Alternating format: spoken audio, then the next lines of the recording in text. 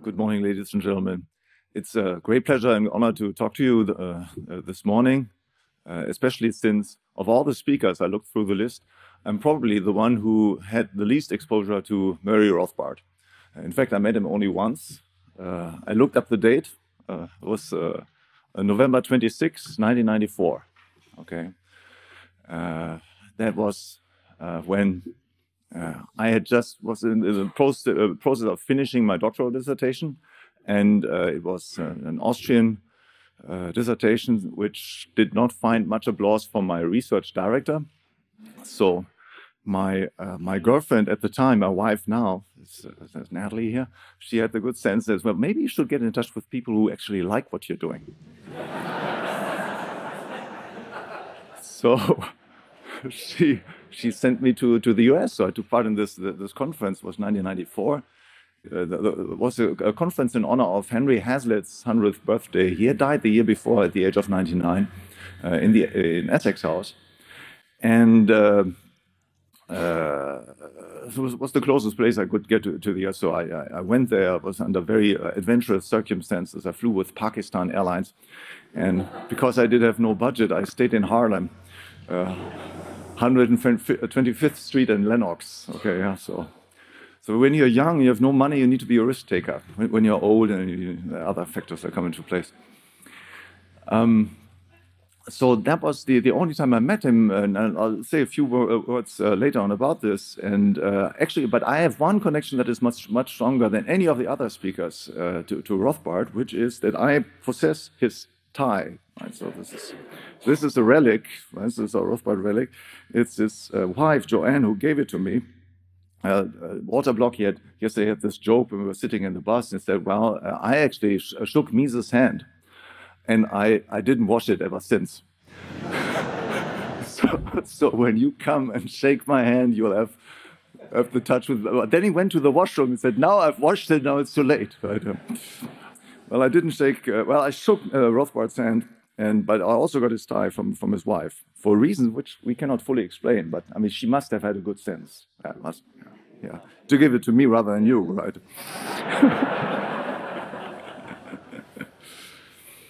well, it's a great pleasure to be with you uh, here. It's, uh, uh, as in for an academic, it's rather rare to have the opportunity to speak to non-academics because this is what academics do most of the time, to talk to each other on, on subjects that interest uh, about five people in the world.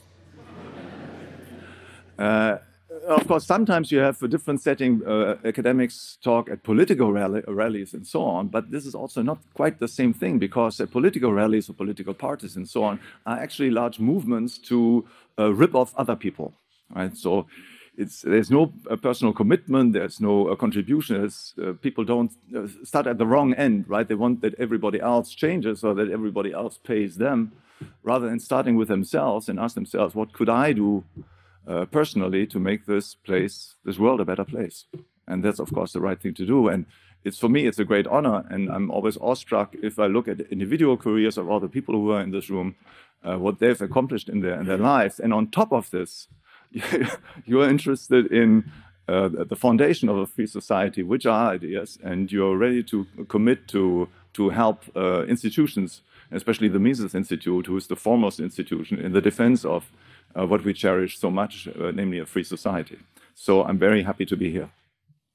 Uh, my talk uh, uh, is supposed to, to deal with uh, how Rothbard crosses the pond, or how Rothbard has crossed the pond, because, as a matter of fact, today Rothbard is known all over the world, and there are young people uh, reading Rothbard, studying Rothbard, and uh, especially, that's the most important thing, developing right, the ideas of Rothbard, criticizing Rothbard, applying um, Rothbard's ideas to, to new problems, uh, uh, solving the problems of our day. One of the worst things that can happen to an intellectual movement is that it turns into some sort of a museum. Right? So you, you just look at the great master and says, oh, yes, and you roll out the, the prayer carpet and then say, yes, yes, great master. And you, you don't tolerate the slightest deviance from the recital of, of the words of the great master and so on. That's a sure sign of brain death, right? So you're close. Uh, and we don't have this. This is one of the wonderful things of uh, uh, the Mises Institute and uh, the movement at the center of which it is that we don't have this kind of problem. So Rothbard is today all over the world. How did it come? What were the circumstances that brought this about? Uh, yeah, so here again, I can relate a little bit out of my own experience, 1994, but I'll say a few words of, of how the world was in 1994 and how the world was uh, before 1994. So in my own case, I did not come to Austrian economics through uh, uh Rothbard. I came uh, to Austrian economics through Mises. And I did not discover Mises in Germany, where I was born and, and, did my studies, but in France, out of all places. Okay, so France is rather more social, socialistic, both in intellectual orientation and in uh, actual policy than, than Germany. Uh, but I had the good fortune, it was probably an accident, uh, but I had the good fortune anyway to, to study for a year in France. And uh, I was studying with an economist who was um, a very enthusiastic um, pedagogue in, in the good sense of the word. So he understood his main task not as inculcating any predefined ideas into our heads, but in raising enthusiasm uh, in our minds for research. He wanted to have us do carry on research and, and develop the science and so on in whatever field uh, uh, we, we might be attracted to. This is very rare. But so I had the good fortune of coming on this man, and he was very curious, great intellectual curiosity, was not an Austrian at all, but he had read, his name was Claude Courtois, and he died shortly after I met him. Um, he uh, had me read uh, uh, two books that had been published in, uh, in France, in French translations at the time, uh, one of which was a book with essays by Murray Rothbard. Believe it or not, 1991. So there was this book uh, that had the title uh, Economistes et charlatans, Economists and Charlatans. Okay. it was not Rothbard who made up this title, it was the translator. Uh, it's a man uh, with the name of Francois Guillaumat, he's still around. He's a very idiosyncratic person. But uh, he had discovered Rothbard in the 1980s and had become an enthusiastic uh, follower and promoter of Rothbard's thought in France. And Francois is a, is a very um, brilliant, uh, brilliant man. He's a, a very wide-ranging interest. He's a, a splendid uh, um, speaker, and uh, had an enormous outburst of uh, uh, energy in, in the 1980s and 1990s in translating I don't know how many books. But among uh, uh, these books were this one by Rothbard, which contained essays such as Reconstruction of Utility and Welfare Economics, a few essays on the epistemology of, of uh, economics and, and, things like this. So this was my first exposure to Rothbard. My first exposure to Austrian economics. Uh, so, so, it came there. But this not, did not make me an Austrian, it, it, it spiked my interest. So then I would went on, uh, go on to read uh, Hayek, and uh, then I discovered Mises. And Mises was uh, somebody who impressed me very strongly because Mises had this depth that is so absent uh, in most of the economics profession because he reaches from the epistemological foundations to the applications uh, of the theory. So uh, the entire corpus of economic theory and then with various applications. Uh, but build on a philosophical foundation, which, he, uh, which is original also with him. So this I didn't know at the time, but I, I, sensed this depth. So when I started off my doctoral studies, I would read Mises in more detail. And when I read his theory of money and credit, this would convert me and make, uh, make me an, uh, an, Austrian economist. I said, well, I only want to do research based on this because this, for some strange reason, has been neglected in the science, right? People just don't know it. For some reason, it has been forgotten. And all, I, this is a huge opportunity, a huge uh, market niche for me right? Because uh, all the other people have uh, simply they, they ignore this. All I need to do is, well, to tell them this is how it is, and all doors will flung open because this is the right approach. Yeah, so it was a little bit naive. Um, but in any case, so this was what made into Austrian economics. And then when I studied Mises more systematically, once I was through uh, his major work, then I uh, started tackling the other authors. So I came to Rothbard. And uh, so I still remember how I, I, I took uh, Man, Economy, and State out of the university bookshelves because the book was present at several university libraries uh, in, uh, in, in, Germany, uh, at the Technical University in Berlin, where I was, there was a copy. So I, I took the book and I spent uh, quite a substantial time reading it, and then I put it back on the on the shelves, uh, very irritated and also slightly in, in, in disgust. Because Rothbard had this very weird way of tackling uh, economics. He would, in the second chapter of the book, he would suddenly talk about property rights.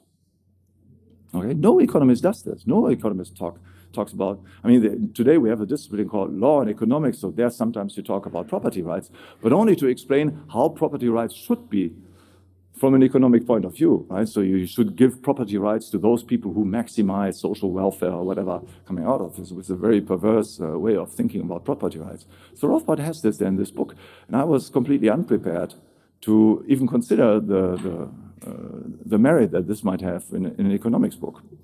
And then, of course, there was this political radicalism, which was very shocking to me. I mean, I was a good European, after all.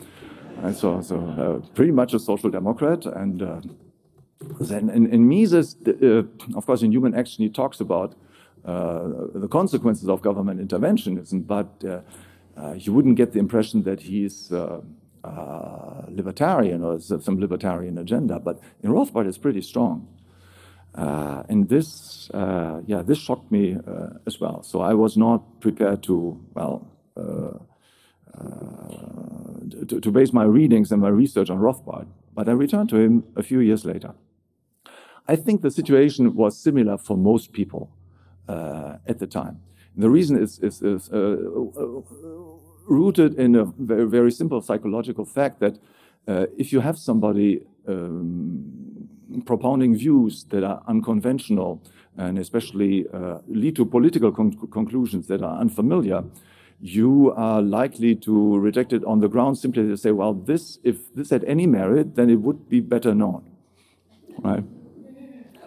Of course, this is circular reasoning, right? It's like the old Groucho Marx uh, jokes, right? I would never join a club that would accept me as a member. Um, it's, a, a, little similar there. Uh, but, but still, right, there is a sort of conviction that comes with success. And when you see, okay, there are professors who actually do not consider it to be nonsense, but who take this seriously and who, who build on it, that's a completely different thing. If there are institutes, uh, uh research, research institutions who are uh, actively discussing this and teaching this to students is a very different thing. But this didn't exist in 1994. It only existed a few years later. So by 1994, there were very few Rothbardians, of course, also in the US, but uh, even, even less outside of Europe. Some people had found their way uh, accidentally to, to Rothbard um, uh, because they had for some reason known about Austrian economics and, then went to the United States to study there. Uh, one early example is uh, uh Hans Sennholz, right, who became a professor in, in Grove City College. And he went to uh, the United States because he didn't couldn't imagine building a career, building a life in Germany after after the war. Uh, and the only thing he had heard, he had studied economics and got a doctorate degree in, in, Cologne at the University of Cologne. That the only thing he had heard about Austrian economics was, well, well there's this Mises guy who is a sharp Jew. sounds rather pleonastic, but well, anyway. And, uh, and, and, and, another example is, is a Frenchman, uh, none of uh, whom you don't know is, is, a good friend of mine, Philippe Nataf. So he went uh, to, to France uh, in the late 1960s and he studied with Sennholz at Grove City College. Then got a doctoral degree with, with, with. He also taught at the Summer University about 15 years ago. Yeah. And, and, Hans Hoppe, uh, of course. So Hans Hoppe discovered uh, Mises independently uh, in the in the mid 1970s. there was nobody there to, to there was no classes on Mises. There was no uh, seminars in Austrian economics, no conferences, and so on. And he, well, uh, by, by some references uh, that he found in, in the academic literature, so found his way to Mises, and then from there to, to, to Rothbard eventually. So there were no uh, conferences, there was no organization, uh, no associations, right? Um, there were, of course, libertarians in, in a wider sense uh, in Europe, but they were most strongly influenced uh, by, by Hayek, uh, not by Mises. for reasons which, after all, are quite superficial, but so they were there. It's simply because Hayek got a Nobel Prize in 1974. So this uh, uh, carried a lot of weight. It's again the uh, success, the conviction that comes with success. Right? And uh, there were uh, institutions